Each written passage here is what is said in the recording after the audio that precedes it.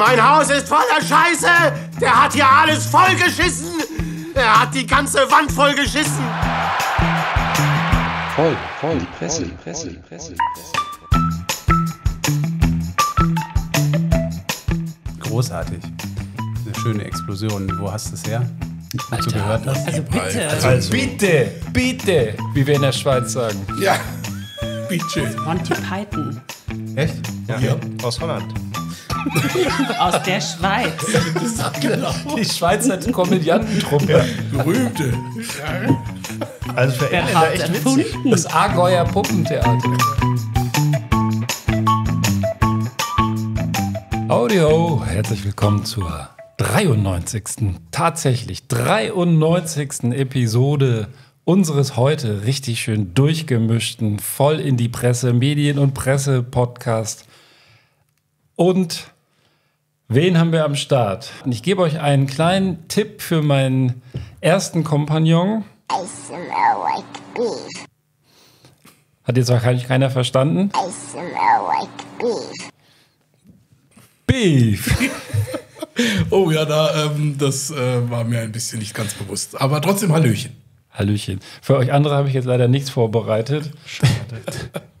Was hat das zu Ich bedeuten? gehe wieder. I smell like summer und I smell like äh, äh, Prollo habe ich leider nicht gefunden im Internet. Deswegen konnte ich I nur smell like beef. bieten. Aber, aber, wir sind ja hier heute uninteressant. Auch ich, Ben Cartwright, bin nicht wichtig und nicht relevant. Wirklich relevant ist unser heutiger Gast, unsere Gästin, die eine ganz verdiente Hörerin, Gästin und gute Freundin dieses Podcasts und ihrer Macher ist, die liebe Esther. I smell like teen spirit. Moinsen. Genau, im Nebenjob äh, Synchronsprecherin, Puppenspielerin und äh, ausgebildete Sängerin. Vielleicht kriegen wir da heute auch noch eine kleine Kostprobe. Mal schauen. Das ist ein Gesangsmikrofon, das haben wir extra hier hingestellt. I don't think Was so. singt es denn? Ja, das, das muss die Esther uns noch erzählen. Also schön, dass du da bist. Vielleicht für die, die uns noch nicht so lange hören. Die Esther war schon mal Gast. Damals noch so quasi im Benanza-Bus. Die Vordersitze waren, waren sozusagen fürs Publikum reserviert. Ich glaube, du hattest damals nicht mal ein Mikro, du durftest nur zugucken. Das war so ein paar Mal. Du hast dich dann immer mal so eingebracht. Und äh, das waren noch Zeiten, wo wir das noch auf irgendwelchen Parkplätzen im Bus, im Benanza-Bus aufgenommen ausgewählten haben. Auf Parkplätzen. ausgewählten. Assi-Park. Vor, das war aber die, noch die Zeit vor dem Assi-Parkplatz noch. Damals, du hast es eben genannt, unter der Brücke. Under the Ja, und ich meinte, da wäre dann auch irgendwann die Polizei so komisch vorbeigefahren und hätte sich angeguckt, was da für verdächtige Gestalten im Auto sitzen. Das war, das war regelmäßig der Fall. Ja, die haben uns ja mal fast arrested. ja. Also, Die schöne Ka die Kabel, äh, die, die Serienbombe, die wir da mit dem Serienautobombe, drei Kabel, drei verkabelte Autos. Was machen Sie denn hier? die, weiß nicht die mehr, wer- Selbstmordattentäter von voll in die Presse. Ja, aber auf dem Assi-Parkplatz, auf dem leeren, ne? Bisschen, bisschen sehr Weil das, doof. das war ja auch noch zu Corona-Zeiten. Ich glaube, da ging es auch noch um Versammlungsverbot etc. etc. Also Ja. wie viele Haushalte innerhalb eines VW-Busses waren. Ja, ja, aber ich glaube, wir sahen auch ehrlich gesagt ein bisschen verdächtig aus mit diesen Kabeln. Ja, die Kabeln sahen scharf, äh, Kabeln, die Kabels, die sahen scharf aus. so, ähm, genau, also das war der kleine Blick in die Vergangenheit. Wer die Esther schon mal äh, hören möchte, wie sie damals war und dann den Quervergleich zu heute, um gefühlte 70 Folgen später, ähm, äh, hören möchte, der darf ein bisschen in unserem Backlog stöbern. Da sind viele schöne Folgen dabei und die mit der Esther habe ich auch in super gute Erinnerung. Also ich wünsche uns allen eine ebenso schöne Sendung und zur Feier des Tages machen wir heute die sogenannte Beef. Ah, der steht heute voll auf. Die Mixed Pickles Sendung. der Also Typ, der ist ehrlich. überhaupt nicht vorbereitet. Was ist los? Du bist sonst immer so sharp. Ich, äh, ja, heute bin ich irgendwie ein bisschen. I smell like beef. Ja. Das kriegst du doch den ganzen Abend Ja, jetzt. ist doch toll, freue mich jetzt schon. Ähm, die Mixed Super Pickles Sendung. Und jetzt die Frage, warum? Weil sich das unser neuer Lieblingshörer Pino gewünscht hat. Also Pino, diese Sendung ist auch ganz besonders für dich. Du hast uns vor ja, zwei Wochen einen schönen, super schönen Leserbrief geschrieben, um nicht zu sagen, den schönsten Leserbrief, den wir jemals bekommen Wir haben sind mit übrigens unserer. der einzige Podcast, der Leserbriefe bekommt. Ja, ja, gut.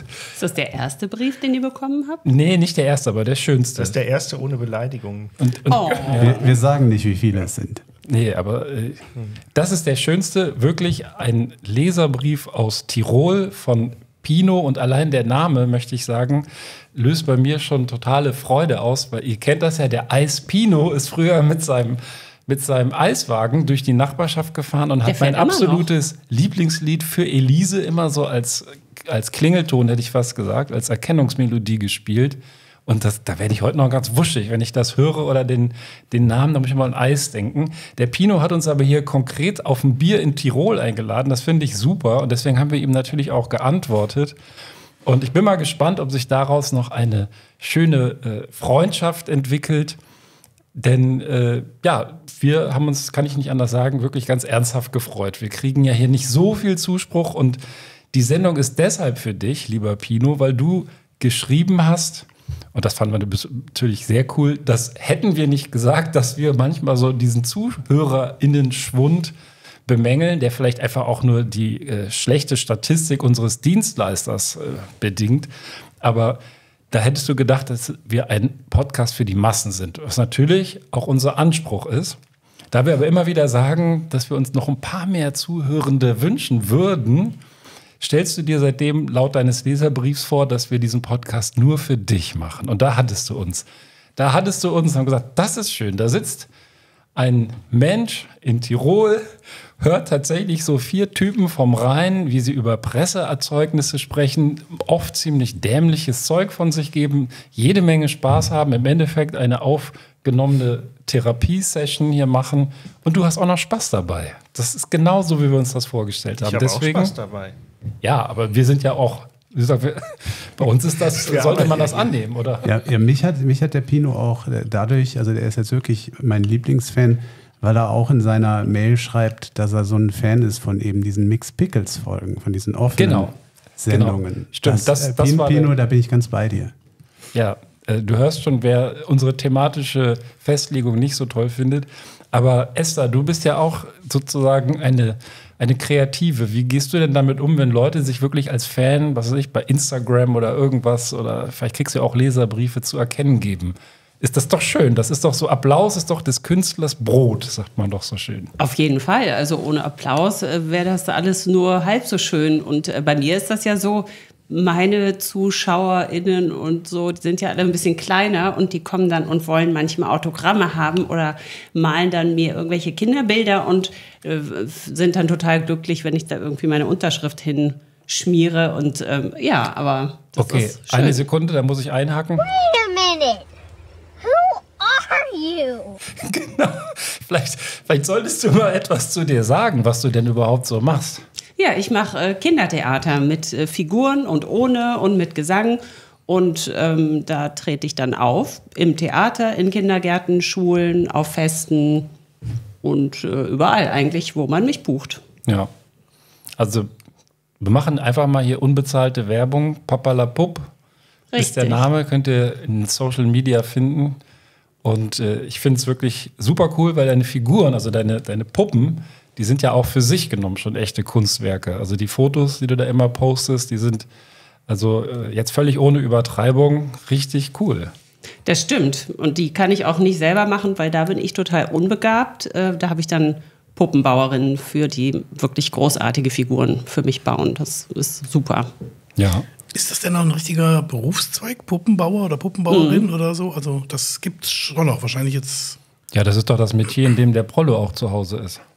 Tja, Echt? jetzt- Du baust auch Puppen? Ich weiß Also nicht, auf eine gewisse ist, Art das und ist jetzt Weise, dahin losgegangen. ich, äh, das ist alles äh, diskret. Ja. Unter okay. Pseudonym. Ja, aber so eine Puppe, die ist ja wahrscheinlich auch nicht ganz günstig, oder? Wenn du da, du, du konzipierst ja da die Stücke, die Theaterstücke, und dann brauchst du da, also machst du dann Skizzen oder sagst du, ich hätte Nee. gern so eine Figur oder machst du das Genau. eher um die Figuren herum? Nee, Das- also ich schreibe zuerst das Stück und dann ähm, spreche ich mit meiner jeweiligen Figurenbauerin und je nachdem, wie viel Geld ich gerade habe, kann ich nur die eine oder die andere engagieren, weil die eine ist halt wirklich sehr kostspielig, da kosten die Figuren dann bis zu 800 Euro pro Figur.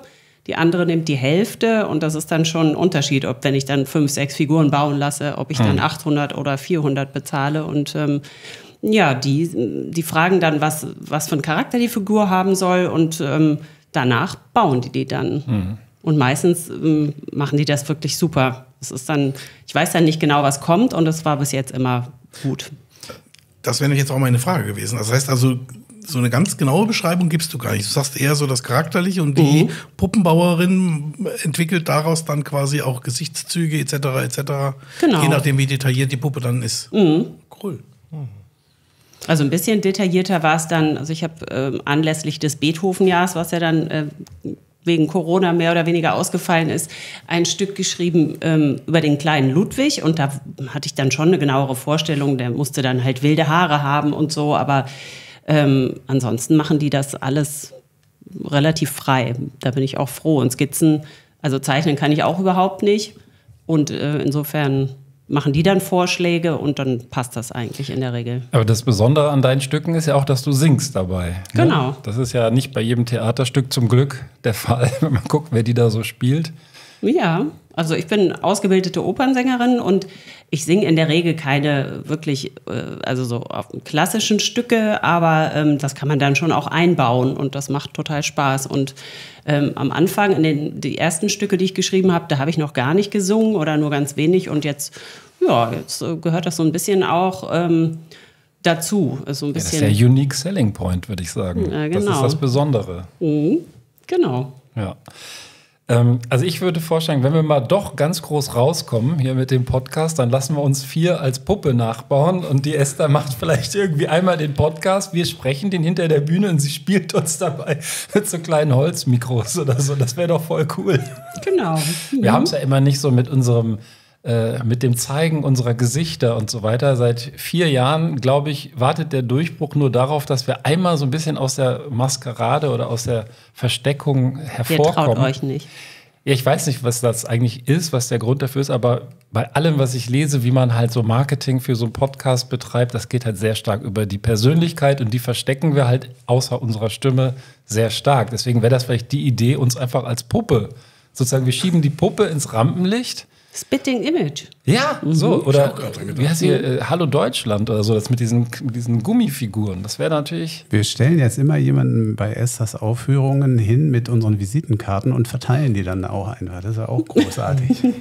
Ja. Da haben wir nur noch Kinder als Zuhörer und können keine jugendunfreien Sendungen mehr machen. Wir haben ja bei jedem zweiten. Wir, wir drücken die den Das, Eltern in das, die Hand. das haben die doch schon alles auf die, hier äh, auf dem Handy, was wir erzählen. Ja, Also ich habe ich hab schon, ich hab schon viele Aufführungen von Esther gesehen äh, und da sind viele Eltern, denen könnten wir die geben. Und ähm, ja, schaut euch bitte tatsächlich mal ihre Webseite an. Ich kann es nur wärmstens empfehlen. Sehr, sehr tolle Künstlerin. Oh, danke schön. Ja.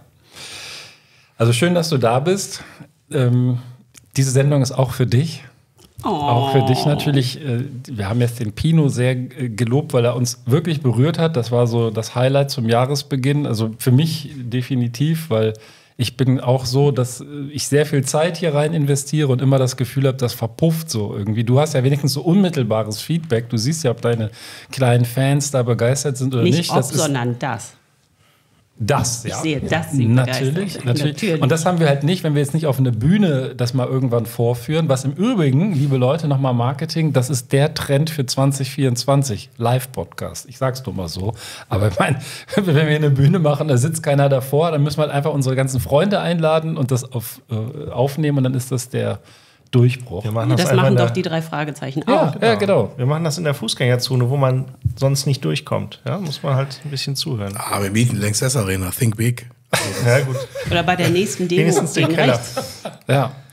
Vor jedem. Darf ich, darf ich auch noch kurz zum Housekeeping, äh, beim Housekeeping was machen? Ich habe nämlich hier für die, für die Jungs Kleinigkeiten besorgt, für mich auch.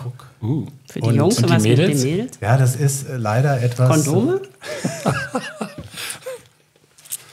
Macht's ruhig auf, traut euch. Es riecht nach Ei. Der Absender, Ein Eierschneider. Wetten, der- wetten, der hat einen Eierschneider. also der Absender ist Shenzhen, Xilan, Hao, UK, Wenn, wenn ich der Sommer wäre, ich würde einen. Eierschneider holen. Genau, das sind die 100-jährigen Eier, die jetzt geschnitten werden können. Oh, eine Stoppuhr. Ah, Ich kann es mir vorstellen, der, der will, dass wir hier wie beim Speed-Dating alle nur noch eine Sprechzeit haben. Nein, nein, also Das eine, ist ja eine, geil. Eine Sprechzeit nicht, aber wir haben jetzt, äh, ich habe hab seit Wochen habe ich schon gesucht, weil äh, wir ja häufig uns läuft einfach die Zeit davon. Wir sind da irgendwie im, Zeitmanagement ziemlich schlecht. Und dann hatten wir letztes Mal tatsächlich zwei Stunden eine Sendung aufgenommen. Zwei Stunden und da ich der Meinung bin, dass die, äh, dass die Qualität der Sendung auch ein Stück weit von der Länge abhängt, habe ich gedacht, ich besorge uns jetzt allen so ein Ding, das kann man als Stoppuhr oder als Timer vor- oder zurücklaufen lassen, so dass wir die Zeit nicht mehr aus den Augen verlieren. Also finde ich eine super großartige Idee. Ich habe es noch nicht angekriegt, aber ähm, der Prollo hat- es geschafft. An der, an der Seite einfach Einfach hochziehen. hochziehen und dann kann man Ja. es starten. Ja, super geil. Auch so ein schönes, großes, äh, alterstaugliches Display. Das kann man auch aus der Entfernung erkennen. Und dann geht's los. Das piepst bestimmt dann. Nee, du, also wenn du die Stoppuhr startest, dann piepst das ja Das ist wie beim Schach. So, zack. So, pass auf, ich mach da mal, äh, während der erste vielleicht, Prollo, starte doch mal die Aufnahme und fang an, hier zu referieren. Und dann, wie viele Minuten haben wir denn? So, Ich möchte gerne mit Sport anfangen. Sport wird gewünscht. Hättest du da was, Prollo? Da habe ich zufällig was da. Hey, Ich der Timer. Nee. Der Timer. Ich mu- das ist für meine persönliche Redezeit, das ist ja anmaßend. Na, jedenfalls, ich bin ja, äh, Sport ist ja eins meiner Steckenpferde.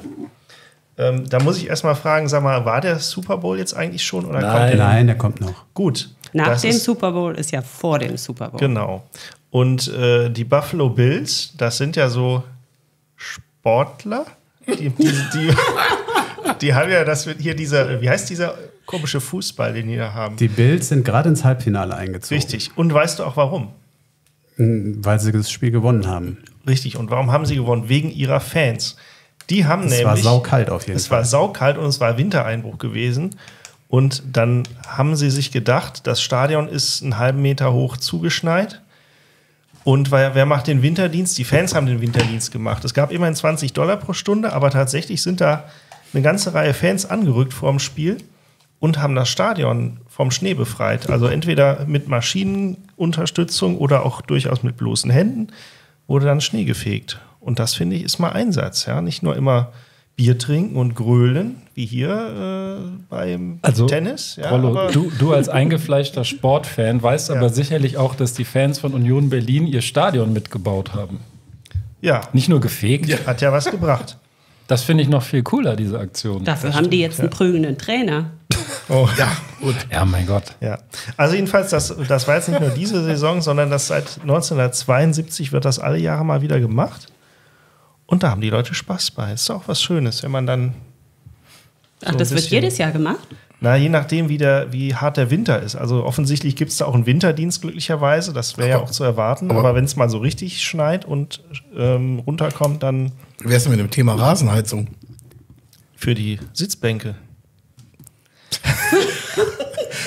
Also ich, Du, du, du, Sitzbänke kann man, kann man auch beheizen. Du Also, fährst Für auch bei Rasen. Schnee einfach mit Sitzheizung. Ja? Nee, aber, also es war richtig, ich habe die Fotos sind jetzt nicht so podcast-tauglich, deswegen habe ich die nicht mitgebracht.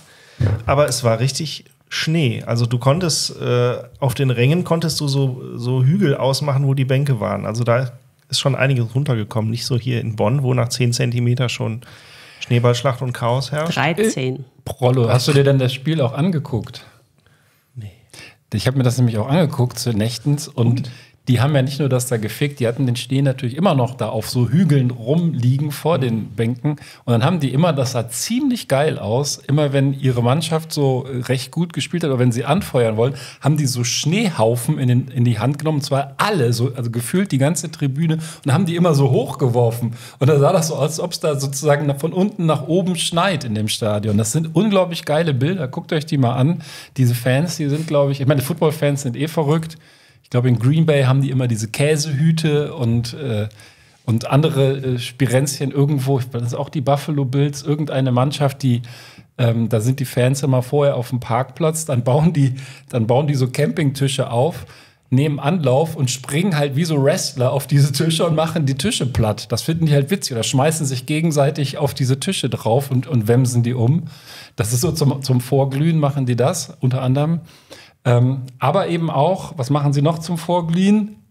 I can't take this much longer. I gotta have a beer. Genau, sie trinken ein Bier. To get dumped! Ja, dann starten wir doch mal. Wer will was präsentieren? Wer hat was mitgebracht? Also ich habe hier, weil ich ja noch im Dry January bin und äh, Sammer, du da auch immer für anspielbar bist, ich habe diesmal alkoholfreies Kölsch, aber wirklich 0,0 Frühkölsch und Gaffelkölsch mitgebracht. Mir fällt gerade auf, dass ich ja im Dry January bin. Der Beef guckt mich an. der Beef, der braucht heute fünf Minuten, bis er den versteht. Er war nicht witzig. Wer alkoholfreien Gin möchte, der Ben hat mir eine Flasche geschenkt, die habe ich noch. Auch 0,0. Sowas gibt's. Ist So voll was lecker. gibt's. Also der ist echt gut.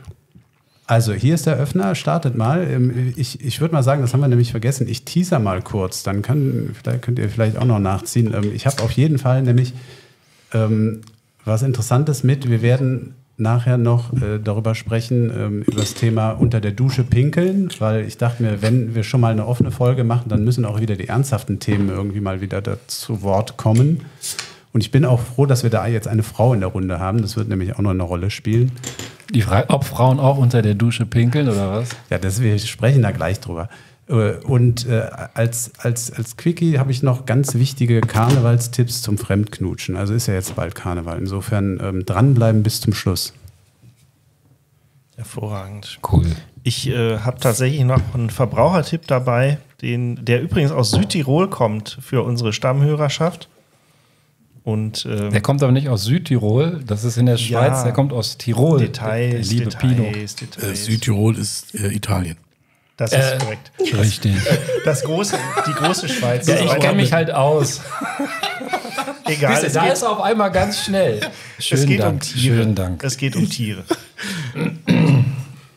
Unglaublich. Ja, Pino Colada. Also, Zum Wohl. Prost. Prost. Also man muss noch zu, zum Housekeeping sagen, wir haben jetzt, ich habe das Kölsch zwar, äh, das alkoholfreie angeteasert, der Beef hat ein alkoholfreies Jupilet am Hals und du hast was, Esther? Franzis Franziskaner Weißbier, alkoholfrei Holunder. Es schmeckt Oh. ziemlich grässlich. direkt aus der Mischbierhülle. Boah. Hervorragend. Was hat der Beef denn heute noch mitgebracht? Schönes. Äh, unter anderem das Weißbier alkoholfrei Holunder und ähm, das Jubiläe 0,0. und, und an Geschichten, das hatte ich eigentlich Ach gemeint. so. Also ich habe ähm, tatsächlich was auch wieder zum Thema Amtsschimmel, sehr geil. Und ähm, äh, könnte dann noch was ähm, bringen. Da müssen wir mal gucken, wie viel Zeit noch ist. Ähm, ähm, was entweder ist noch ein DB-Thema, da bin ich mal gespannt, oder aber ähm, äh, Risiko über die Weihnachtsfeiertage. Und ich meine nicht einen überhöhten Cholesterinspiegel. Oha. Oha. Risiko. Ähm, also Risiko. Also Gesundheitsrisiko. So. Ja, äh, ich habe eher dann so das technische Risiko. Äh, Da komme ich aber gleich zu. Zuerst würde ich gleich ähm, von einem absoluten, von einer absoluten Weltsensation, darunter mache ich es auch nicht mehr, berichten. Das hat es noch nie gegeben. Und dann, das passt sogar einigermaßen, äh, würde ich sagen, warum das Internet am seidenen Faden hängt, wenn 100 Lavalampen ausfallen. Oh. Tja, das muss man erstmal, das muss man erstmal finden im Netz. Ich glaube, das ist zum Nachdenken was. Nee, Gott sei Dank. Zur Kenntnisnahme. das mit dem Nachdenken, das ist doch mal Beefs mit hier, der liest doch die Süddeutsche. So, aber wer macht weiter? Der Prollo hat ja schon abgeliefert hier mit den. Der, äh, der Beef fummelt hier schon fleißig rum. Esther, Der was denn das mit dir? DB-Thema raus. Äh, nee, Willst du auch? Ich kommentiere. Okay. Ja, ich kann ja mal weitermachen. Also mein äh, Thema, das, was ich habe, da geht es um einen äh, Thomas Wiegold. Ähm, der wohnt in Berlin und hat einen Bußgeldbescheid bekommen. Das ist jetzt erstmal nicht besonders ungewöhnlich. Ähm, Bußgeldbescheid, weil er zu schnell gefahren sei. Und ähm, da gibt es ein paar Einschränkungen. Also er wohnt, wie gesagt, in Berlin, Berlin-Kreuzberg, um genau zu sein, hat einen Bußgeldbescheid bekommen, dass er zwar nur 7 km/h, aber immerhin sollte 20 Euro bezahlen. Eine Straße, der Tatort war eine Straße in Kaltenkirchen, das ist nördlich von Hamburg in Schleswig-Holstein. Und das äh, hat er mit einem Kleintransporter mit Bad Segeberger Kennzeichen ähm, verursacht. Jetzt gibt es zwei Einschränkungen. Der Herr Wiegold, ähm, der Thomas Wiegold, war zu dem Zeitpunkt A nicht in Kaltenkirchen und auch nicht in Schleswig-Holstein und er hat auch gar kein Auto. Und ähm, ja, und das äh, Skurrile war, er hat das dann versucht zu recherchieren, also hat erstmal dann äh, Widerspruch eingelegt, kann man ja machen dann über so einen Bußgeldbescheid. Kurze Frage, ist das das Bahnthema? Nee. Aber ist egal. Also, Das ist der, Endlich Amt, das das der Amtsschimmel, würde ich eher sagen. das Amtsschimmel, genau. Ähm, äh, genau, und ähm, er fand dann raus, ähm, dass ähm, er hat die Polizeidirektion in Bad Segeberg angeschrieben, weil die halt da entsprechend ihn ähm, äh, ähm, äh, ange, ähm, von, von deren denen die Post kam und ähm, hat sich auch das Foto zeigen lassen und auf dem Foto, also der Herr Wiegold ist äh, 63 und ähm, das Foto ähm, war ein Mann mit dichtem Haar und vollem Gesicht, etwa 46 Jahre alt und es war ähm, Etwa aber auch nur, Etwa. oder? Etwa und, und, ähm, nicht 45, sondern 46. Genau. Und er ist der Chef des örtlichen äh, Metallbauunternehmens in Kaltenkirchen, die auch Transporter fahren. Und ähm, das ist der Halter des Wagens. Der heißt auch Wiegold, allerdings Julian Wiegold. Und ähm, das Schöne ist, äh, die Polizei hat also quasi sich dann da nicht drauf verlassen, sondern hat gegoogelt. Und der Name Wiegold kommt halt ähm, öfter in, öfter in äh, Berlin vor. Und er ist auch relativ bekannt. Also er kam schneller einfach in den Google-Anzeigen. Er kam weiter oben quasi, der Thomas Wiegold, weil er auch einen, da schließt sich der Kreis, einen Podcast betreibt. Und ähm, ähm, Dangerous. Genau. Und ja, und hat dann nochmal gefragt. Und, die, und er hat dann Widerspruch eingelegt und hat dann auch gesagt, naja, dann wäre das ja vielleicht der andere Wiegold und so weiter und so fort. Das hat die Polizei aber ignoriert und die hat auch zum Der Beispiel. hat das abgewiegolt. ab, oh. Komm, der lag doch auf der Hand. Also, alle mit Niveau haben ihn nicht gemacht, sagen wir es mal so. nee, aber ähm, ja, also man hätte jetzt den Julian Wiegold, das ist der ähm, örtliche Unternehmer, anrufen können und der sagte, dass er keinen Thomas Wiegold kennen würde und der auch nicht bei ihm wohnen würde, weil sie eigentlich die gleiche Adresse hätten. Ähm, also Fakt ist, um das einfach mal abzukürzen, dass die Polizei schlicht und ergreifend nicht das Naheliegende irgendwie weiter recherchiert hat, sondern sie haben auch darauf beharrt, dass dieser Thomas Wiegold ähm, diese 20 Euro bezahlen muss. Da kamen natürlich dann inzwischen ähm, zusätzliche Gebühren drauf etc. etc. Und sie haben es auch weiter ignoriert, ähm, dass also quasi der ähm, möglicherweise ein wahrscheinlicherer Halter des Fahrzeugs auch der Wiegold ist, nur halt eben nicht der Thomas Wiegold. Darf ich mal fragen, was Sie dazu veranlasst hat, äh, nicht einfach nachzugucken, wer der Halter ist? Sie haben es, das sagte ich ja eben, also die, ähm, in dem Fall hat hier wohl eine Polizistin schlicht und ergreifend den Namen gegoogelt. Ja, aber da- das Auto hat doch ein Nummernschild. Ja, und das haben sie dann quasi äh, gegoogelt. Sie hat aber nur den Namen Wiegold gegoogelt und hat da eben den Das Thomas. Tom, das ist auch nicht zu verstehen. Das ist ja der Witz dabei. Also das, Man kann ja kein Nummernschild googeln. die Polizei hat natürlich den Halter rausgekriegt und hat dann aber, wie gesagt, ähm, nicht.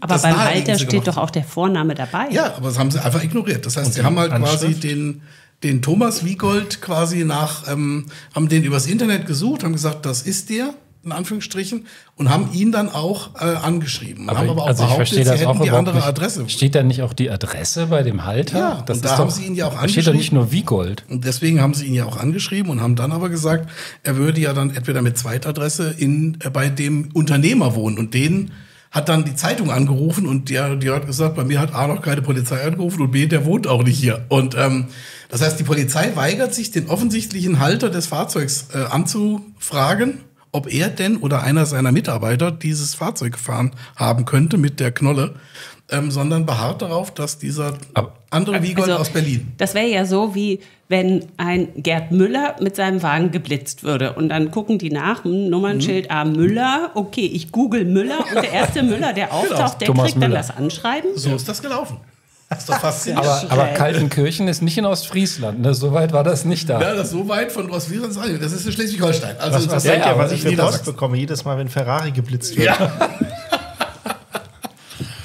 es ist äh, absurd. Also auch der, der hat ja dann auch einen Rechtsanwalt, alles, aber das hat die Polizei erstmal alles ignoriert. Also auch das, ähm, das Foto, dass das überhaupt nicht miteinander übereinstimmt. Also die äh, Polizistin, die das gegoogelt hat, hat auch ein Internetfoto, ein altes, ein elf Jahre altes Foto aus dem Internet, ähm, zu Vergleichszwecken herangezogen zu dem Blitzerfoto und hat gesagt, ja, das ist ja eins zu eins.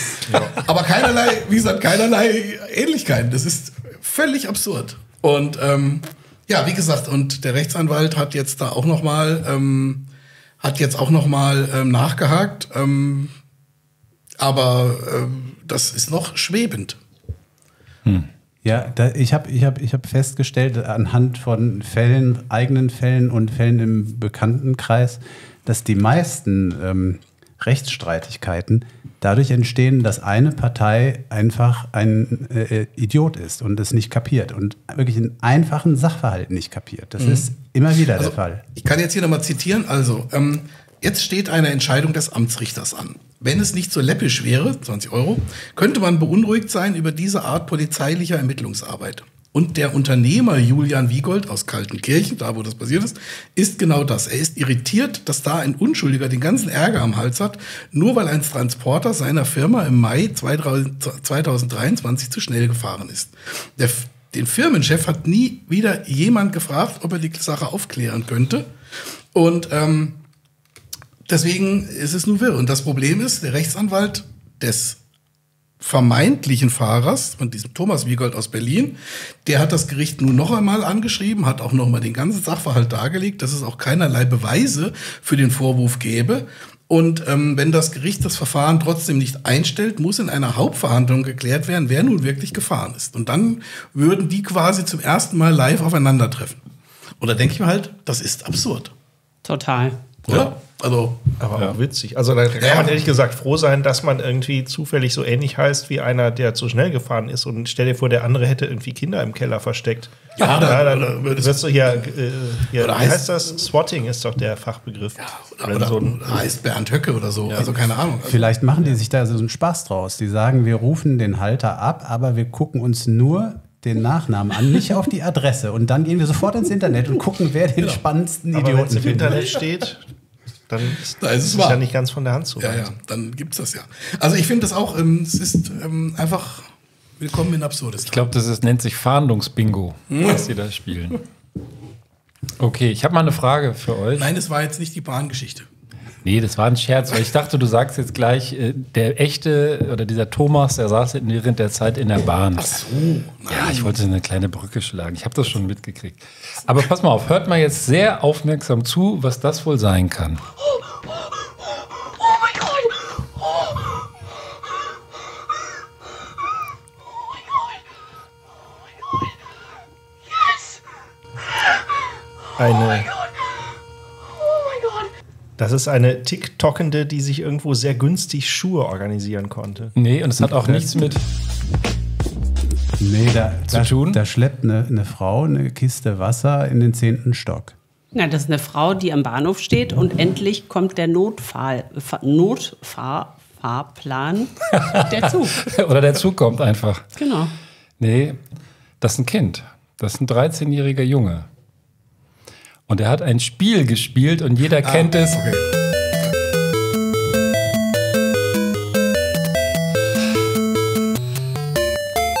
Ich ziehe das mal runter, bevor die GEMA kommt.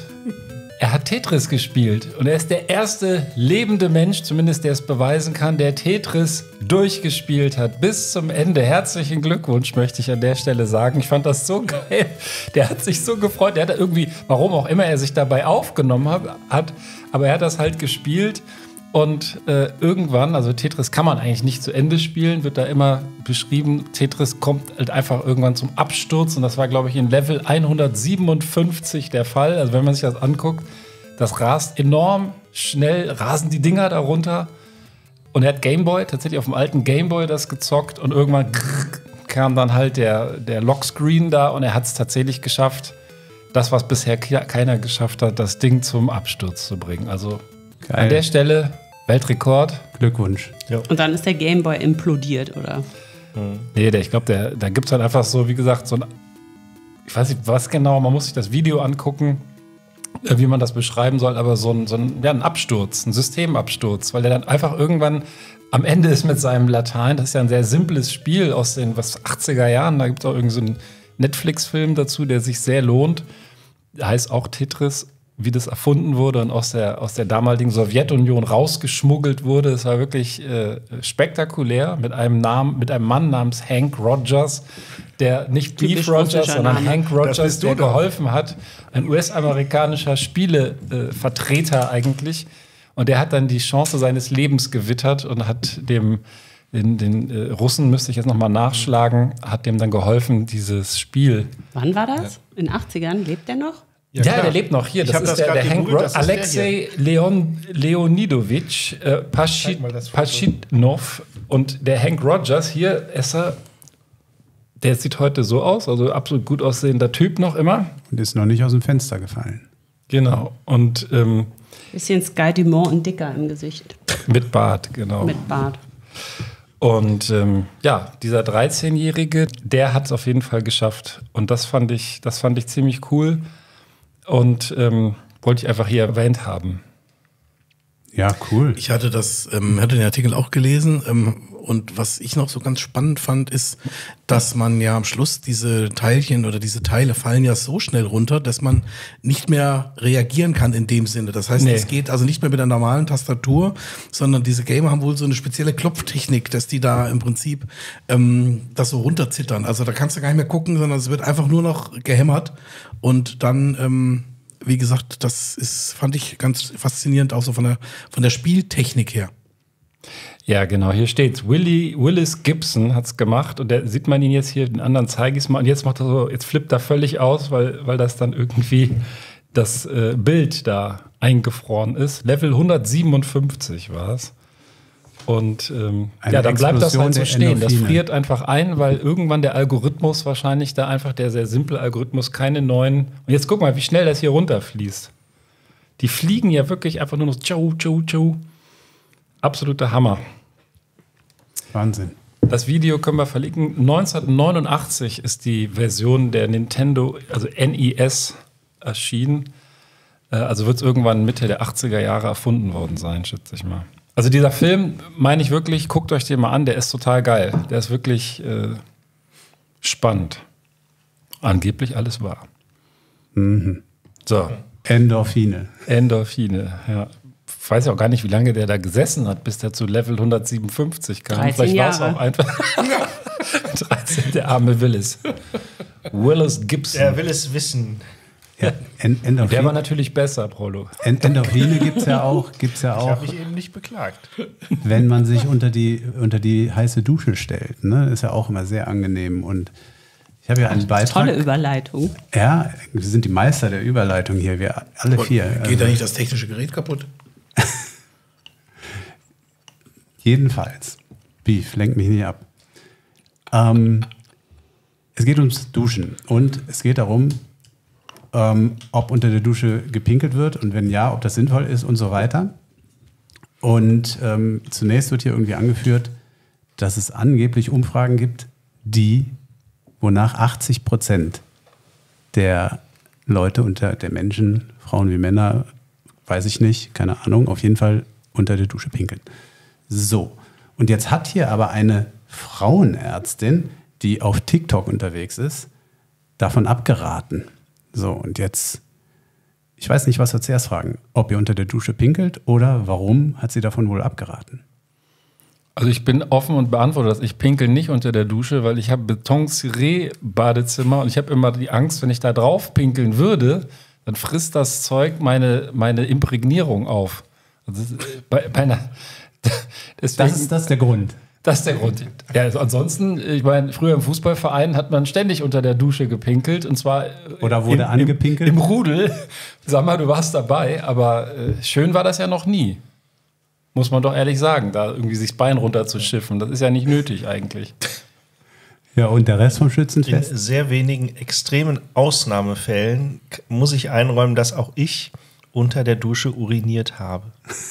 Okay. Also ich nicht, weil wir haben eine Toilette. Ach so, ja, habt ihr echt? Ja, ich auch nicht. Wir haben auch eine Toilette, aber ähm, also ich weiß, dass meine Kinder in der, in der Grundschule, da war irgendwie mal so ein Typ, der hat gesagt, äh, da ging es um Umweltschutz und Wassersparen und der hat allen Ernstes empfohlen, unter der Dusche zu pinkeln, weil man sich ja dann das Abspülen sparen würde. Das Problem, was ich dann gesehen habe, ist aber, wenn man unter der Dusche pinkelt und dann, ich meine, das spritzt ja auch eine gewisse, also je nachdem, wer es ist, wenn es jetzt ein Sohn ist oder die Tochter und dann, wenn man einen Duschvorhang hat, dann ist das halt irgendwann richtig eklig und dann habe ich das untersagt. Ist mir egal, wie viel Wasser man dann sparen würde, angeblich, aber ich fand es dann so, also wenn es so eine Nasszelle ist wie in irgendwelchen Hotels, ge- geht das dann vielleicht, aber das, ähm, nee, also Okay, nett. aus hygienischen Gründen nicht. ja. Genau. Und aus olfaktorischen Gründen. Okay. Ähm, hier wird jetzt jedenfalls noch auf zwei andere äh, Gründe eingegangen. Also zunächst mal ein, ein Grund, der beide Geschlechter betrifft, den ich, den ich ziemlich ähm, ja, so ein bisschen albern finde. Die äh, Frauenärztin sagt, ähm, die Verknüpfung mit dem Wassergeräusch, wenn man das regelmäßig macht, dann könnte das dazu kommen, dazu führen, dass man sozusagen konditioniert wird, ja, unbewusst. Und immer dann, wenn man Wasser laufen hört, muss man halt auf Klo. Und das sei ja echt ungünstig. Neuronale Programmierung. Ja, ja, so ungefähr. Äh, Pavlosche Hunde kennt jeder. Alle, also das heißt, jetzt mal liebe Fans da draußen, wer bei unserem Podcast ständig so einen Harndrang verspürt, dann ist es der Sammer schuld, weil der immer dieses Gluckergeräusch hier ins Mikro macht. Habt ihr euch aber leider auch als Duschpinkler entlarvt. Ihr wollt nicht wissen, wie er das Geräusch erzeugt. Ja. Ja, pass, pass mal auf. Ähm, äh, zu dieser Konditionierungsgeschichte. Es gibt ja wunderbare Kommentare, User-Kommentare. Äh, da möchte ich mal gerade einen vorlesen. Ähm, ich, ich muss leider das Mikro hier so ein bisschen bewegen, weil wir haben es heute total eng hier und ich bin so ein bisschen blind. Ich muss mich äh, auf Abstand zu meinem Laptop geben. Also, deshalb sollte man im Schwimmbad auch nicht immer Pommes futtern. Das wird dann automatisch mit der Dusche verknüpft und die Fritten werden nass. Moment mal, das heißt aber, wenn ich, wenn ich Duschpinkler bin, äh, kann ich irgendwann keine Pommes mehr essen. Weil du, ja, du solltest sie nicht unter der Dusche essen und dabei pinkeln. Ja, das wenn, du, wenn du die immer im. Schwimmbad isst, dann hörst du immer das Wasser. Das heißt, dass du äh, dann, dass deine Pommes dann demnächst, wenn du zu Hause bist, dann hörst du irgendwie die Dusche und dann rennst du mit den Pommes unter die Dusche. Das heißt, ich kriege Das ist aber, jetzt beim- aber sehr weit hergeholt. dann kriege ich aber beim Pinkeln wahrscheinlich auch immer Lust auf Pommes, oder? Das auch, das ist auch so ein bisschen schräg. Siehst du? Ich finde, würde nochmal die zum Anfang zurückgehen. Also, warum ist eine Frauenärztin auf TikTok? Ist nicht jeder auf TikTok mittlerweile? Ich nicht. Ich auch nicht. Nein, nicht jeder, nicht jedes Individuum, aber, aber jeder Beruf, jede Generation, äh, jeder Idiot. Also das Thema klingt mir an den Haaren herbeigezogen. Ja, also pass auf, wir, Ein Festival des Wortwitzes heute. So, dann, dann, dann, kommen wir, dann kommen wir jetzt ähm, zu, den, zu den Frauen. Ich bin unheimlich froh, dass die Esther hier heute in der Sendung ist, weil die kann uns da vielleicht tatsächlich als, als einfach als Expertin, weil sie eine Frau ist, auch was dazu sagen. Denn die ähm, Expertin sagt, ähm, dass, dass Frauen ähm, im Stehen ein Problem haben zu pinkeln, weil man muss sich entspannen. Und wenn man steht, ist der Beckenboden eigentlich verspannt, also oder angespannt und es funktioniert nicht gut.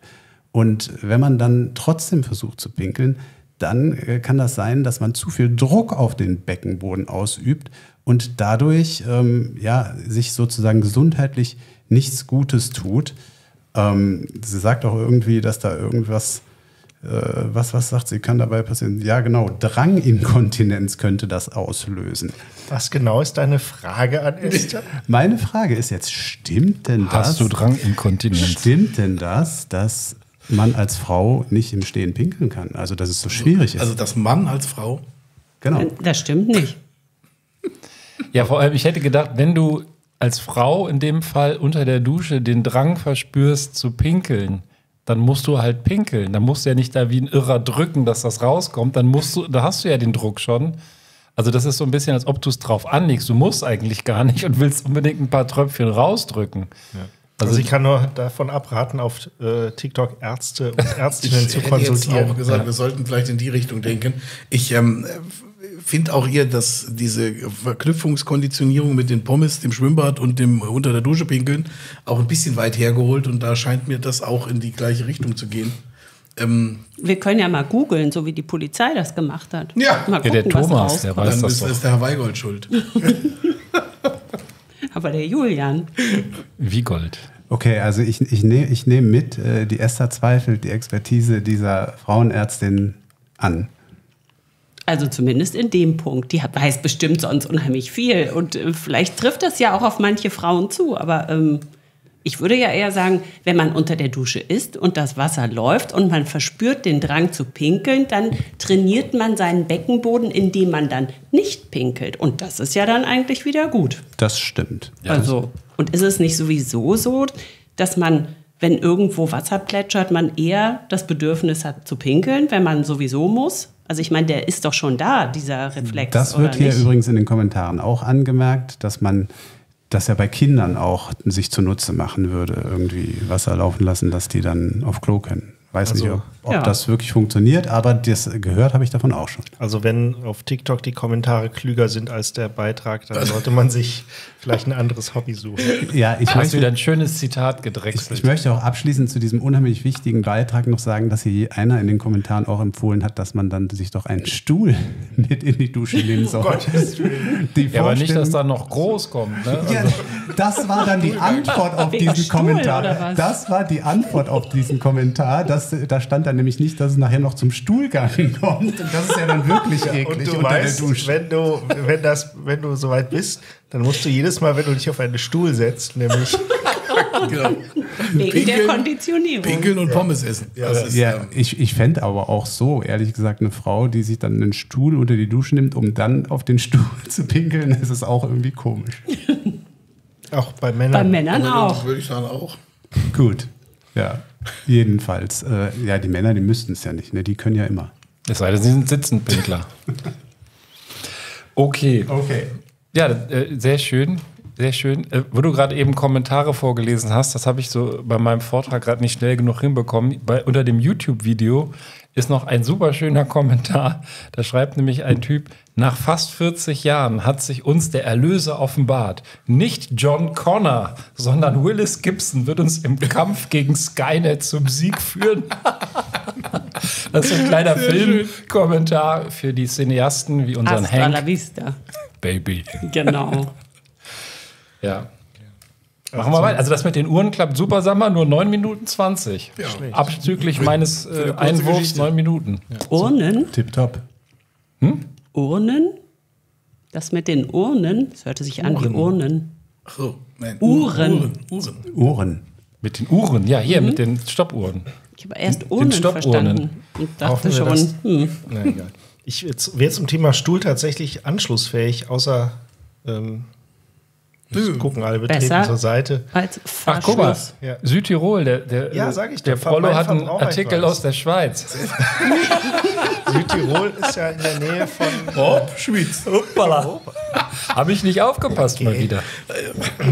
Jedenfalls, Südtirol ähm, hat sich jetzt was ganz Kluges ausgedacht. Äh, äh, jedenfalls ist es ja so, ähm, wer kennt es nicht, ne? man spaziert äh, nichtsahnend äh, durch die Gegend äh, und plötzlich Der hat überall rumgeschissen.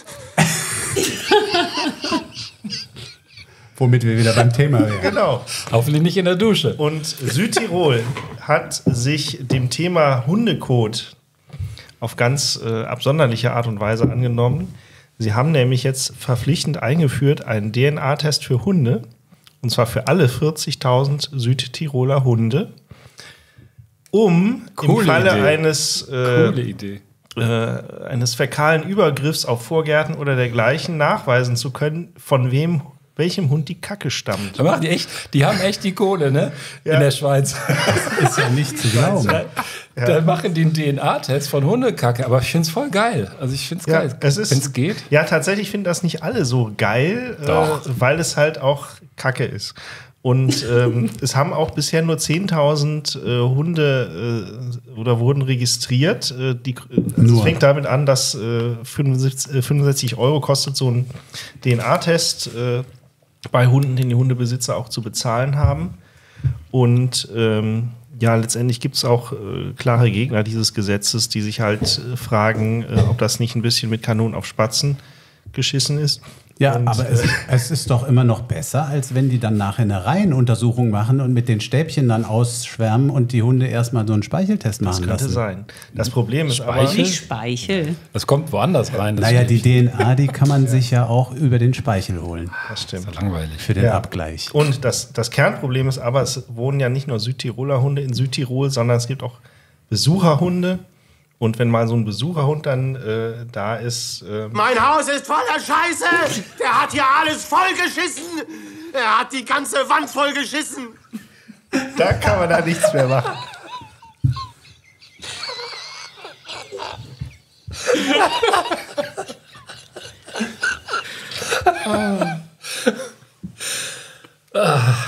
Okay. Ich habe äh, Das war wahrscheinlich ein 9 Pfund Länder.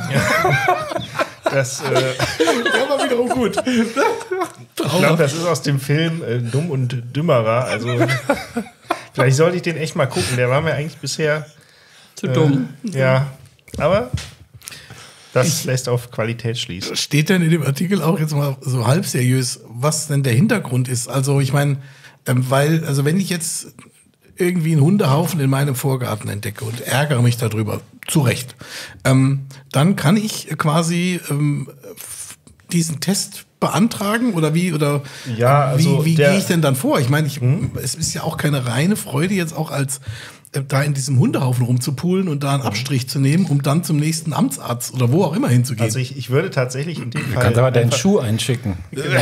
Ich würde vielleicht die schön. Polizei rufen, dass die das macht, aber wird sie auch- die, die Bekommt dann der. Geschädigte das Geld? Es gibt eine Strafe. Ich weiß nicht, ob es Aber noch die einen Strafe Bonus gibt. bekomme ich die dann, wenn in meinem Vorgarten der Hundehaufen liegt? Nee, der, die, der Hundebesitzer natürlich, der den Haufen ja hätte wegmachen sollen. Nein, nein, aber der muss bezahlen. Aber wer Ja. bekommt das Geld? Ich dann vielleicht als Geschädigte. Davon wird wahrscheinlich, Wahrscheinlich die eher der Staat. Verwaltungsbürokratie finanziert. Das kostet ja. Und ja, aber wer- tatsächlich, also die Befürworter sagen, ähm, das macht Sinn, weil es schreckt bereits so ab, dass halt einfach die Leute den Haufen eher wegmachen. Die Hunde haben jetzt Verstopfung.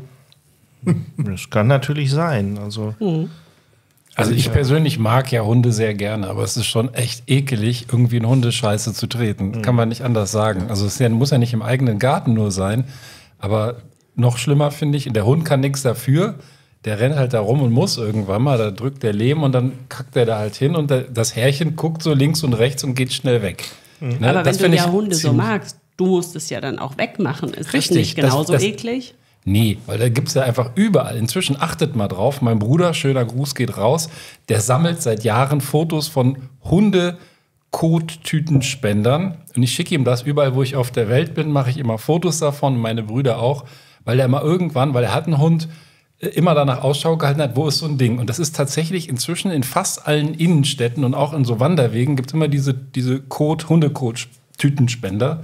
Und die nimmst du einfach, stülpst die um, machst die Hand rein, greifst da so hin. Die Konsistenz ist natürlich eklig, stülpst die Tüte drüber und dann hast du es und dann gibt es meistens auch noch ein Müllding dafür. Also ich finde, dass die Städte oder die Kommunen schon viel getan haben, damit Hundebesitzer ihrer Pflicht da auch nachkommen können. Und die Profis haben das sogar an der Leine irgendwie so mit dran. Aber die machen es halt nicht alle. Also es gibt nach wie vor welche. Aber ich ne? glaube, es, machen- es machen aber nicht wenige. Ich glaube, es ist echt besser geworden. Es ist sicherlich besser geworden, auch weil es, glaube ich, empfindliche Strafen gibt, wenn du wirklich erwischt wirst dafür. In, in vielen Kommunen musst du richtig latzen, wenn du deinen Hund irgendwo hinkacken lässt und es nicht wegmachst. Aber wird ja nicht ständig da irgendwie beim frischer Tat ertappt. Also jedenfalls mein Bruder sagt, der äh, den Hund äh, seiner Freundin immer mal begleitet, äh, dass es auch irgendwann nicht mehr eklig ist, diese Kacke Nee. wegzumachen. Also Also, ja, wenn, du, wenn du deinen Kindern den Hintern abgeputzt hast, da bei äh, im Windel und so, also das ist ja dein Hund. Ne? Also ich würde es jetzt nicht bei fremde Hundescheiße würde ich jetzt auch nicht einsammeln wollen, aber, aber so, wenn der Hund das macht, und dann denkst du auch so, komm jetzt, zack, wenn du den ordentlich fütterst, dann ist das auch nicht so, nicht so sämig. die, so. die Geschichte vom Also Pro was ich eklig finde, ist, wenn ich das dann äh, mit der Hand aufgelesen in die Tüte gepackt habe, dann. Ich habe dir doch gerade gesagt, wie du es machen sollst. ja, ach so. Mein Gott. Ich wollte ich wollt, ich ich Jahre. wollt euch auch noch erzählen, dass die Geschichte, die der Prollo gerade erzählt hat, auch schon aufgegriffen wurde in einem Krimi und zwar bei, bei Wilsberg. Da äh, hatte der Kommissar Overbeck, der eine absolut geile Rolle spielt, äh, ein cooler Schauspieler, der, der leitet eine Projektgruppe, die dann äh, tatsächlich äh, ähm, die DNA aus der Hundescheiße irgendwie ähm, äh, registriert, also erstmal rauskriegt, registriert und dann analysiert und so weiter und so fort. Also es hat sogar schon ins Fernsehen geschafft. Ich habe hier ähm, Bedarf. Alleine mit dir. Zwei Worte. Ein Bier. Der Öffner da rechts zu deiner Rechten. Man bräuchte den Öffner. Was ich mich ja frage, Noch, ein- noch ein trinkt dieser Typ eigentlich hab jedes Mal ein Bier und die Dame kriegt nichts ab? hier bei dem Jingle. Ja. Ich keine Ahnung, du hast mir das, aus- geschickt. ja, ich habe das den ist Film schon nie Ein gesehen. paar Jahrzehnte älter. Das ist kein Film, das ist eine Werbung aus. Äh, Jahrzehnt habe ich vergessen. Ich würde mal auf spätesten 60er tippen. Da gab es halt für die Frauen Wasser oder so wahrscheinlich. Oder ein Pikolöchen vielleicht auch. Guckt ihr eigentlich Handball? Spüli. Guckt ihr eigentlich Handball? Ist doch gerade ist doch gerade äh, Europameisterschaft. Die Deutschen sind im Halbfinale. Also wenn das hier ausgestrahlt wird, dann ist schon klar, ob sie im Finale sind oder nicht. Äh, vielleicht sogar das Finale hat schon gespielt. Ich weiß gar nicht, wann wir rauskommen. Jedenfalls. Am Sonntag, das Halbfinale ist am Freitag. Ja, und am Finale Sonntag ist ist wahrscheinlich das Sonntag. Fin- Finale. Das heißt, Oder das Spiel um Platz 3. ja, dann ist das wahrscheinlich sogar schon gelaufen. Aber ähm, vielleicht sollten wir mal, wollen wir nicht mal die KI vom Kicker fragen, wie die, wie die das Spiel Deutschland-Island fanden? Ja, ist total schön, dass wir hier was vorbereitet haben. Dann fragen wir doch mal. Nach dem Seitenwechsel hatte Deutschland in Wolf weiter seinen gewohnt starken Rückhalt, blieb aber zu wechselhaft. Von 11.11 Uhr ging es auf 13.11 Uhr, auf 14.12 Uhr, auf 15.13 Uhr, ehe Island beim 16.16 Uhr wieder ausgeglichen hatte. Also sieht nach einem klaren Sieg aus. Kannst du die Otto, Packung du hast gehört. Um 16 die ersten Uhr 60 Achsen abkuppeln. Und vergiss nicht, den stehenbleibenden Zugteil mit der Druckluftbremse in einer Handbremse festzulegen. 60 Achsen abhängen, stehen bleibenden Zugteil festlegen. Scheiße, meine KI hat sich verselbstständigt. Auch bei der Bahn gibt es jetzt Miles and More. Das heißt, Sie können Kilometer sammeln und ab 300.000 Kilometern erhalten Sie einen tollen Preis. Hören wir uns den einfach nochmal Eine an. Bahnreise? Viel besser. Ein Auto. Kleine Reminiszenz an unsere letzte Sendung. Herrlich. Ja, das hat jetzt hier, mein Handy hat jetzt einfach äh, weiter fröhlich abgefeuert. Ja, aber ist doch geil, oder? Die KI, die äh, die Ergebnisse nicht lesen kann oder immer von Uhrzeiten spricht. Wie, wie cool ist das denn? Bei einer Sport, bei einem Sportmagazin. Also was war denn da die, die Aufgabe? Die KI sollte den Ticker vorlesen. Nee, das oder ist was? einfach, das ist einfach der, der, der Sportbericht, der vorgelesen werden kann. So wie es diese Vorlese Aber das hat doch nichts mit KI zu tun. Das ist einfach nur irgendein Ja, das, Sprach, ist, das, äh, ist, das sind ja künstliche, Text-to-Speech-Ding. Künst, das sind künstliche Stimmen. Das ist ja trotzdem KI. Ja. Aber das heißt, er hat einfach immer die, die Also, Ticker-Uhrzeit mit, mit Künstlich, aber nicht intelligent. Ja, Offensichtlich. ja, genau, offensichtlich. Ich finde es halt krass. Also so ein Kicker, das finde ich, wir müssen schon hinkriegen. Das ist ja irgendwie ihre Kernkompetenz. Aber dann würde ich jetzt eher den äh, Kicker oder derjenige oder diejenige, die das betreut haben, dann irgendwie da ein bisschen ähm, vielleicht mal äh, monster.de irgendwie hinlegen. Also, ähm, weil, ähm, naja, also ähm, Ergebnisdienst kann man dann schon zu machen. Und wenn man dann 16 zu 11 oder was weiß ich dann und da keine Uhrzeit draus strickt, es ist ja immer nur so schlau, wie es auch gefüttert wird, gerade solche Vorleseprogramme. Ja, ich wollte ja jetzt auch nicht die, die, die, den armen Typen, der die künstliche Stimme äh, darstellt, jetzt hier bashen. Also der ist es nicht schuld. Der Typ, der die künstliche Stimme darstellt. Der Roboter, Wo ist der der. Fehler in dem Satz? Ich überlege gerade noch. Ja. wen, wen wolltest du denn sonst bashen? Ja, den Deppen, der das irgendwie programmiert hat. Also, das, äh, Ja, ich glaube, ja, das- in ja, der da hast Richtung sollten wir mal erfolgreich erforschen. Ja. Okay, äh, vielleicht hat es aber auch was mit dem Internet zu tun. Hat einer das WLAN-Kabel verlegt oder was auch immer. Oder dieser Anbieter hier, um den es jetzt in meinem kleinen Beitrag geht, ähm, hat ein Problem mit seinen Lavalampen. Aber bevor ich das erläutere, was könnten 100 Lavalampen mit der Sicherheit im Internet zu tun haben? Wie, wo ist da der Zusammenhang? Und ich sage euch, es gibt kein Kabel. Ist das ein Wärmethema, dass das irgendwie Temperatur Nee. erzeugt wird da auf engem Raum? Rollo, du bist doch vom Fach. Elektromagnetische Ich Strahlung. muss mich outen, ich weiß es, aber ich lasse gerne den Sammer noch ein bisschen raten. Nee, ich habe keine Ahnung. Irgendwas mit Kiffen zu tun? Und Internet Security. Okay, also ähm, ich weiß nicht, ob ich den Anbieter jetzt hier nennen soll. Das ist ein, äh, ein Anbieter, der ähm, Inter Internet-Sicherheitsdienste. Ich glaube, ähm, den kennen alle ja, schon. Cloudflare. Die das mit Internet Ja, machen. also Cloudflare, einer der größten Hätte ähm, ich mal wieder nicht gekannt. Du machst ja Internet-Sicherheitsdienste. nichts mit Internet. Content Delivery Networks äh, stellen die zur Verfügung und spielen damit eine entscheidende Rolle, wie es hier bei GameStar Tech heißt, zur Absicherung oder bei der Absicherung von Millionen von Webseiten vor Cyberbedrohungen. Also die schützen Internetseiten mit ihrer Dienstleistung. Und ähm, wie machen sie das? Prollo, wenn du den Artikel kennst, du bist natürlich vom Fach, du kannst es, du kannst es fast noch ein bisschen besser erklären nee, das kann ich nicht, ich bin ja jetzt unvorbereitet. Aber Okay, das pass auf. Prinzip ist ja, ich mein, du brauchst halt äh, für Verschlüsselung, um es mal kurz zu sagen, brauchst du halt einen schicken Zufallsgenerator. Ja? Und Genau. wie das so mit Computern ist, die sind nicht so gut im zufällig. Weil die KI nicht so Zahlen schlau ist, wie sie aussieht. Und da haben die sich Folgendes gedacht, die haben in ihre Lobby von ihrer Firmenzentrale, haben die eine Wand gebaut, tatsächlich, das sieht man hier auf dem Foto, wir verlinken das natürlich, da sind 100 Lavalampen in so einem Regal. Also 100 Lavalampen in Reihe und Glied stehen da. Und dann sind die hingegangen und haben eine, die sind natürlich angeschlossen und blubbern da so vor sich hin und haben eine Kamera da drauf gerichtet. Die Kamera filmt diese Lavalampen und dadurch, dass die ja ständig in Bewegung sind, ist die Konstellation quasi in jeder Sekunde unterschiedlich.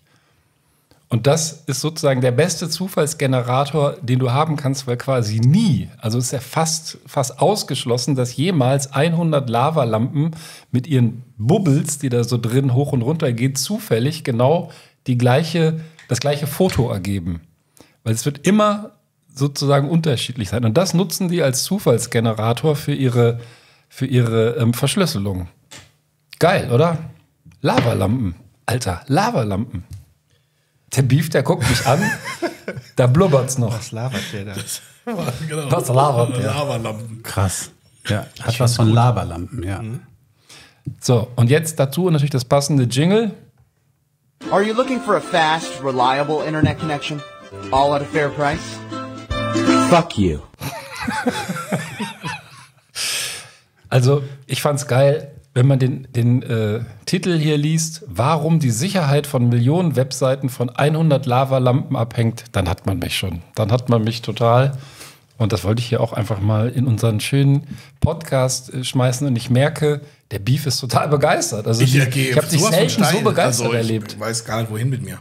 Ja, boah. Völlig, ähm, also völlig aufgeregt. Ja. Apropos Internet, ich muss mal eine Sache nachlabern, die ich bei, bei der bei Heute Show Spezial gehört habe. Ähm, I don't know, ob es stimmt, aber wusstet ihr, dass, also wir haben ja das große Problem mit dem Internet hier in Deutschland und Glasfaserkabel und so, wusstet ihr, dass schon Helmut Schmidt beschlossen hatte, dass Deutschland komplett Glasfaser kriegt, also wirklich alles, also deutschlandweit, damit ausgestattet wird? Und wieso ist es nicht so gekommen? Den Rauch aufgegangen. Also so haben sie es in der Heute-Show da erzählt.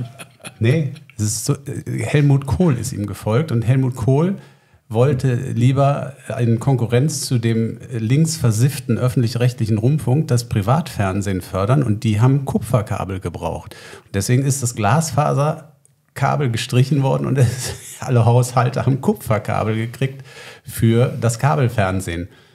Und deswegen äh, haben wir auch heute noch kein Glasfaserflächen. Aber wer braucht Das heißt, denn ich hätte- Internet, wenn man Bumsender gucken Ich wollte gerade sagen, ich habe heute RTL 2 und dafür kein schnelles Glasfaserkabel. Ja, bedank dich bei Helmut Kohl. Also vielleicht besuchst Ah, du ihn mal an seinem Grab. Ach. Nein.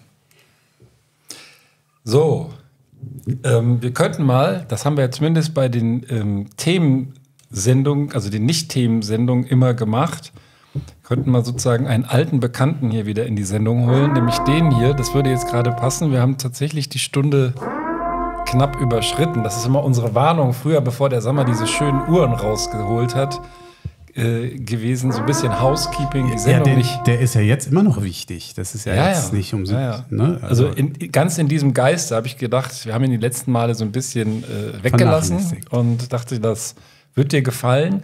Nichtsdestotrotz haben wir wahrscheinlich aber noch mehr Sachen angeteasert, als abgeliefert wurden. Deswegen gucke ich mal in die Runde. Wir wollen ja wenigstens unsere Versprechen halten. Ja, dann legt mal los. Ich habe ja jetzt nur noch was für den Abschluss. Ich hatte. Du hattest deinen Abschluss schon. Einen Moment schon. So, Beef? Ich gucke gerade, ich hatte ja noch was, ähm, ich suche mal raus. Äh, Wäh- Während der guckt, äh, Esther, wie ist denn so dein Gemütszustand gerade nach einer Stunde voll der Wahnsinn? Ich könnte noch eine Stunde weitermachen. Was, ey, das ist- wollte ich hören. Lieber, lieber Puppentheater oder lieber Kasperle-Theater? Puppentheater natürlich. Ich dachte so, wenn ich in die Runde gucke. Wir sind halt Kasperles, ja. Wir können es nicht besser. Macht ja nichts. Da gab es doch noch ein Bahnthema, oder nicht? ich überlege gerade, ich hätte jetzt also. Ähm, ich, ich, ich Also der, der Beef geht gerade mit sich in Klausur. Das kann also nur noch zehn auf, ich, Minuten ich, dauern. ich, über, ich überbrücke das mal ganz kurz. Äh, Ich überbrücke das nur ganz kurz mit einem äh, spontan eingeworfenen äh, Geräusch und dann auch mal der Frage, was das ist. Und dann sage ich nur einen Zweizeiler dazu. Was ist das? Das passt zu dem Thema, das der Beef jetzt vortragen möchte.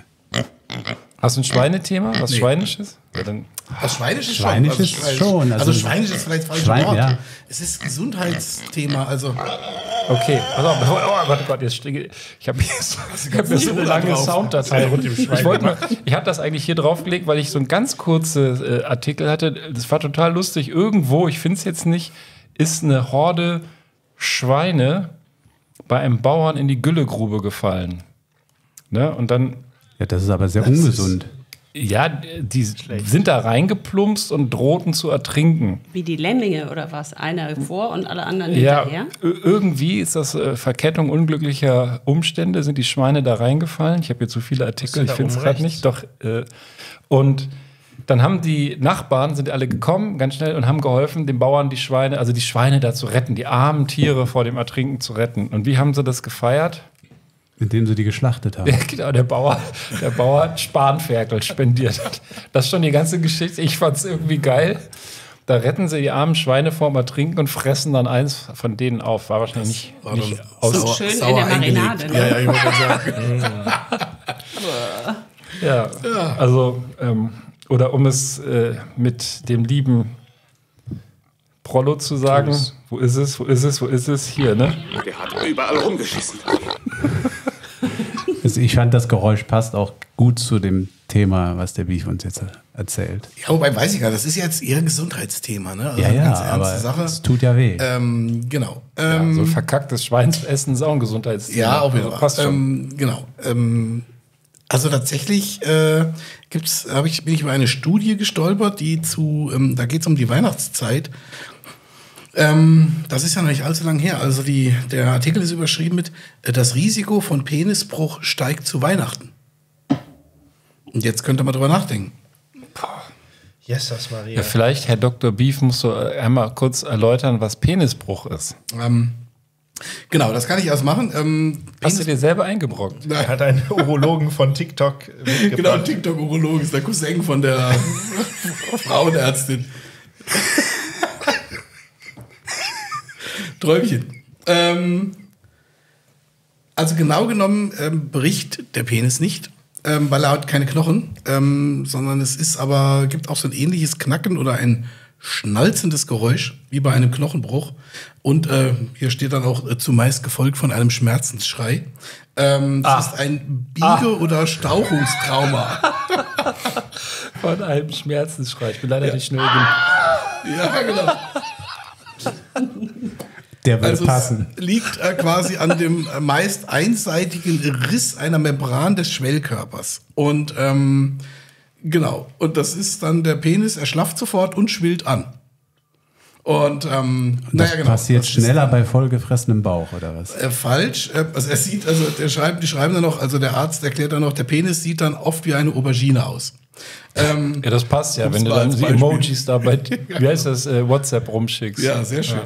Ähm, ja, der Hintergrund ist tatsächlich ein bisschen putziger, ähm, äh, weil quasi über die Weihnachtsfeiertage irgendwie die Leute ein bisschen mehr Zeit haben und dann meistens irgendwelche ähm, unüblichen Stellungen ausprobieren. Das ist äh, Ergebnis dieser Forschungsarbeit ähm, und deswegen tritt das dann äh, tatsächlich ähm, besonders in Positionen, in denen man keinen direkten Augenkontakt hat, ähm, tritt das häufiger auf und äh, dadurch ergibt sich dann quasi ähm, eine 43 Prozent höhere Anzahl von Penisbrüchen in Deutschland. Also das ist Ja, vielleicht liegt das auch daran, dass man über die Feiertage so viel gefressen hat und sich das nicht sozusagen optisch geben will. Komm, dreh dich mal um. Oh, das kann natürlich auch sein. Oder man ist insgesamt ein bisschen steif. Aber wieso ist an Aber- Weihnachten der Sex so wild?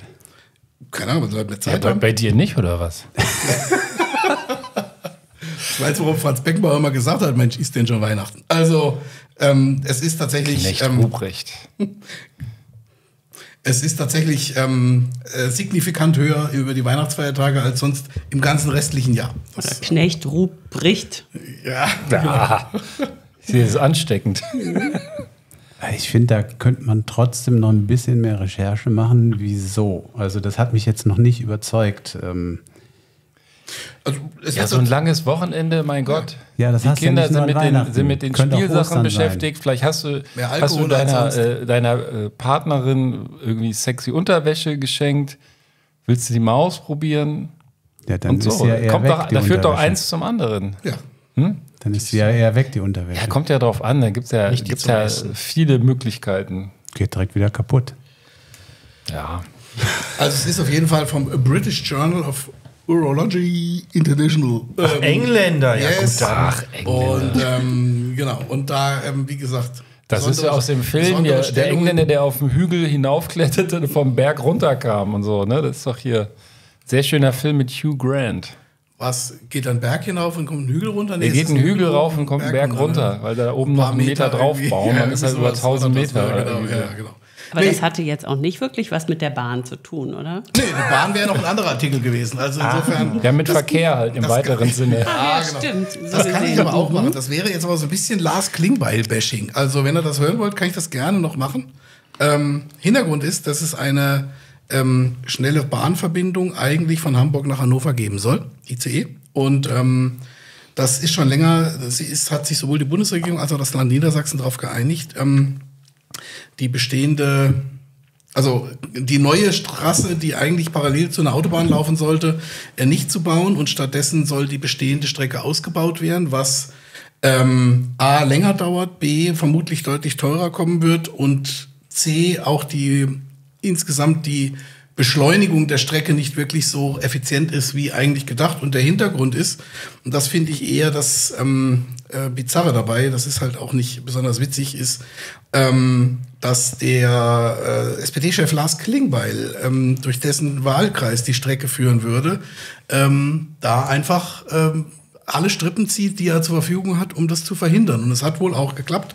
Sprich, das heißt, er hat ähm, tatsächlich diesen ähm, planerisch sinnvollen Ansatz äh, quasi verhindert, ähm, zugunsten eines weniger sinnvollen Ansatzes und auch teureren Ansatzes, einfach damit durch seine Heimatgemeinde, wo die Autobahn übrigens schon durchfließt oder durchläuft, ähm, dann noch eine zusätzliche Bahnstrecke zu machen. Das, Also wie ähm, in Köln-Frankfurt, wo du ja auch in diesen Käfern heilst. äh, genau. Das ist ähm, tatsächlich, wo ich so ein bisschen denke, ist schon irgendwie komisch. Ja, nicht okay. Eindeutig, nicht nur nicht ko äh, Mir ko fällt jetzt komisch ist ein bisschen schwach. Zwischen Hannover und Hamburg gar keine Stadt ein, die von größerer Bedeutung ist. Es ist auch keine Stadt, es ist ein Kaff, also es ist ein Landkreis eher. Ne? Das ist jetzt eher also wirklich nur Gegend mehr. Da, das muss der Zug dann auch halten? Nö, der muss da nur durchfahren. Also Ach der so, Witz ist, dass aber der quasi warum? da nicht mehr durchfährt. Ja, er will sich, weil Lärmbelästigung und Ach so, er fährt dann nicht mehr Ja, dahin. ja, er fährt sicher nicht mehr durch. So, Das also ist der, der, Witz der, dabei. der, der, die noch nicht gebaute Strecke führt dann noch nicht, die würde, auch nicht dadurch. Die neue, die neue Baustrecke würde Ach quasi so. da durchführen, das will er Ja. aber nicht. Dann ist es ja genau umgekehrt, weil hier in Limburg und der, diese ganzen Montabauer, diese Dörfer, die haben ja jetzt alle ICE-Bahnhöfe. äh, Da, Ja, weil das da sind ja genau drei, drei ja. Bundesländer, ne? die werden da alle Genau. bedient. Genau. Aber der Witz ist eigentlich, dass eben durch den nur durch die Ertüchtigung des Bestehen, der bestehenden Strecke einfach der Fahrzeitgewinn, und das ist ja einer der wesentlichen Punkte, Beschleunigung des Ganzen, ähm, dass der de definitiv nicht so signifikant wäre, als wenn die Strecke neu gebaut würde. Hm. Und das ist dann schon wieder Tja. A, weit weg vom Penisbruch, aber B, vor allen Dingen auch Bananenrepublik. Ja. Ja, so schließt sich der Kreis.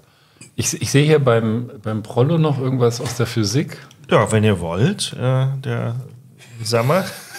Also- das ist tatsächlich äh, mal jetzt was für euch. Ich habe jetzt- Damen auch hier. Nein, wir haben gerade, Entschuldigung, wir haben gerade Weihnachten gehabt und das passt halt, nach Weihnachten kommt Silvester. ja. Ko Genau. Komm Silvester, ja gut. Äh, Die Uhren werden dann ab nächster Woche von Anfang an bis Ende durchlaufen. Dann haben wir auch einen genauen. Nee, Ich stell dich schon mal auf Null für die Zeit, wenn du gleich redest. Sehr gut. Also, dann äh, äh, werde ich euch da noch unterrichten. Es geht nämlich um die Physik des. Oh Gott. Eieiei.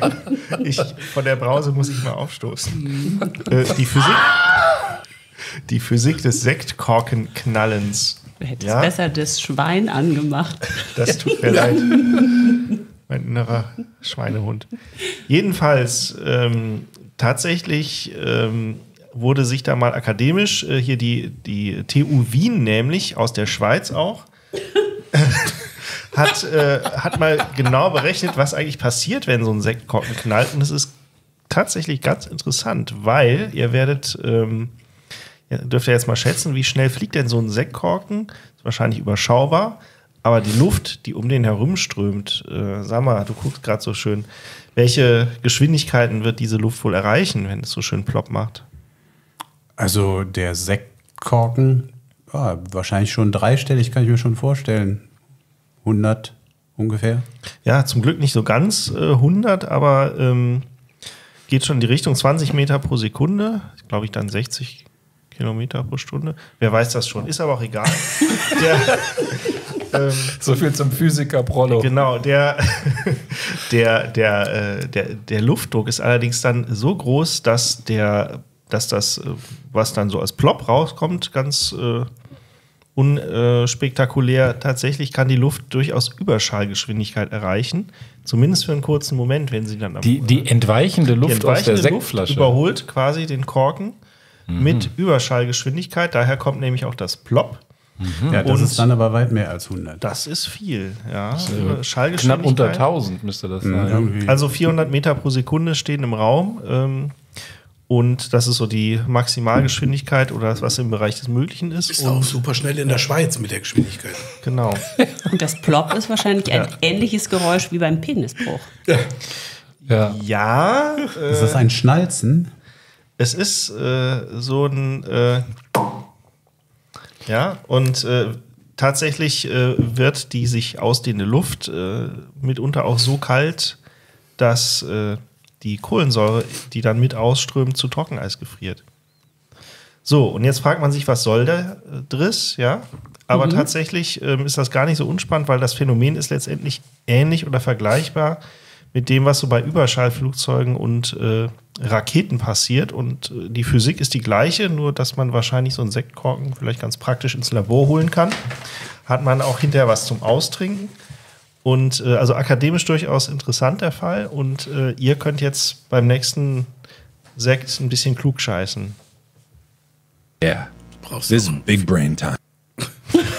brauchst ja viel größere Flaschen. So. Genau. Also die Leute haben auch ein bisschen Spaß im Labor. Ich wette, es ging wie immer nur ums Saufen. Es war tatsächlich auch beiläufig eine Dissertation zu dem Thema, hoffentlich bestanden. Dass es auch einen Shampoos hinterher gab. Und äh, ja, das ist die Sektgeschichte, nicht nur zu Silvester. Wunderbar. Und bevor der Sammer jetzt hier gleich ins Mikro beißt, möchte ich seinen hervorragenden, hervorragenden Quickie-Sonderbeitrag, den er ja uns hier Woche für Woche präsentiert, mit einem neuen Jingle einleiten, was wir uns mal für die Themensendung überlegt hatten, aber nie abgefeuert haben und was ich dir jetzt präsentiere, das wir auch künftig gerne nutzen können, so als Joker für dich und für den Pino, wenn wir mal vom Thema abweichen wollen. And now for something completely different. Für dich. Ja, herzlichen Dank. Das ist natürlich großartig. Eine schöne Explosion. Wo hast du es her? Du gehört hast? Also bitte. Also, bitte, bitte, wie wir in der Schweiz sagen. Ja, bitte. Monty Python Echt? Ja. Aus Holland. aus der Schweiz. Die Schweizer Komödiantentruppe. Berühmte. Also für Wer Engländer echt erfunden? witzig. Das Argeuer Puppentheater.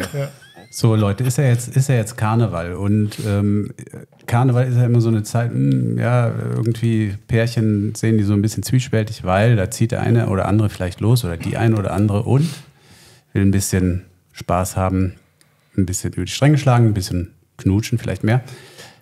Was wäre da ganz günstig zu haben? Herpes. Vorher Penisbruch. schon. Oder Penisbruch. Kommt drauf an. Also Herpes und Penisbruch, weiß ich nicht, ob das so hilfreich ist, wirklich, um, Ich gehe als um, Aubergine. zum, Zu- um zum Zuge zu kommen. Nein, ihr kommt sowieso nicht drauf und ich will ja ein bisschen Gas geben. Ähm, ein Alibi. Ein Alibi wäre nicht schlecht. Ein Alibi wäre nicht schlecht. Und es ist tatsächlich so, dass es ähm, äh, jemanden gibt, der hat eine, ich nenne das jetzt mal so, eine Alibi-Agentur gegründet, mit der er äh, Leute wirklich richtig höchst professionell mit Alibis versorgt.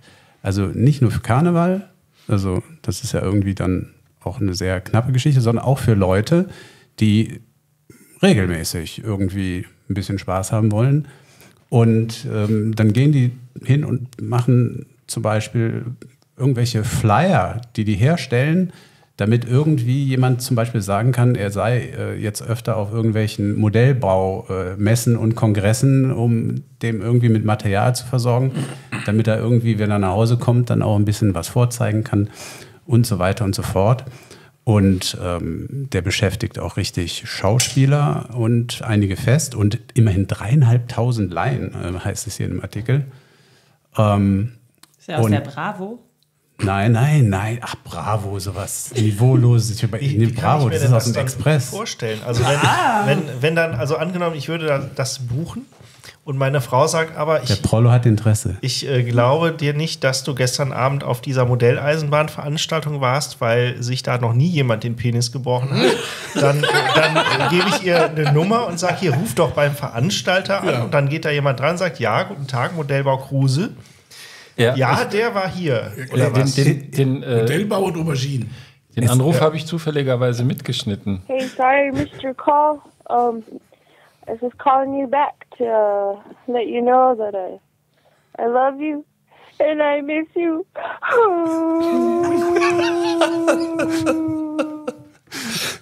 Ja, aber der Prollo, was der, was der hier jetzt natürlich so ein bisschen überspitzt extra gesagt hat, sowas machen die tatsächlich. Also das würden die tatsächlich auch nochmal. Die, die, das äh, ganze Mo Geschäftsmodell ist nämlich noch viel breiter aufgestellt. Die haben zum Beispiel auch Kunden, da ist, äh, hat er erzählt, so ein bisschen aus dem Nähkästchen geplaudert, da ist einer, der, der ist Fließbandarbeiter, ja, ist ja nicht schlimm, ist ja eigentlich nichts bei. Aber seinen Eltern hat er immer erzählt, dass er einen eher, sag ich mal, gut bezahlten Bürojob hat. So, und jetzt ist aber das Problem, dass die ab und zu mal ihn besuchen kommen und auch irgendwie offensichtlich, äh, weiß nicht, äh, wie erfolgreich er da vorgegeben hat zu sein, ihn auch seine Arbeitsstelle sehen wollten.